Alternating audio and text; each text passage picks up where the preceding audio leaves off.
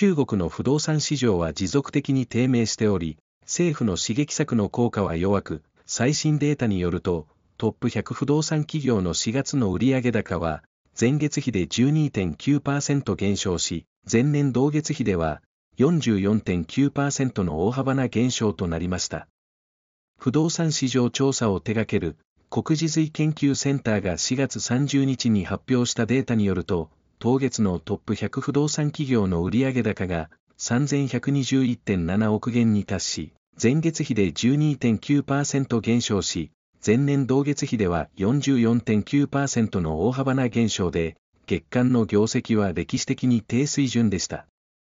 過去のデータによると、2021年から2023年にかけてのトップ100不動産企業の4月の売上高は、それぞれ1.03兆元、4306.3億元、そして5665.4億元でした。現在のトップ100不動産企業の売上高は、2021年の3分の1にも満たない状態です。今年の最初の4ヶ月間で、トップ100不動産企業の累計売上高は、1.09兆元で、前年同期比で46.8%減少しました。また、財新網の報道によると、現在のほとんどの不動産企業の投資戦略は、販売に基づく生産であり、土地取得は非常に慎重です。